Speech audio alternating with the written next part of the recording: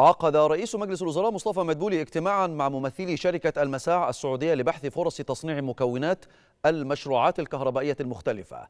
خلال الاجتماع أكد مدبولي نجاح مصر في تصنيع المكونات المطلوبة لمشروعات الكهرباء بنسبة تصل إلى 75% مما يعني أنه لا تزال هناك فرصة كبيرة أمام شركات تصنيع المكونات لتغطية احتياجات السوق المصرية من هذه المنتجات.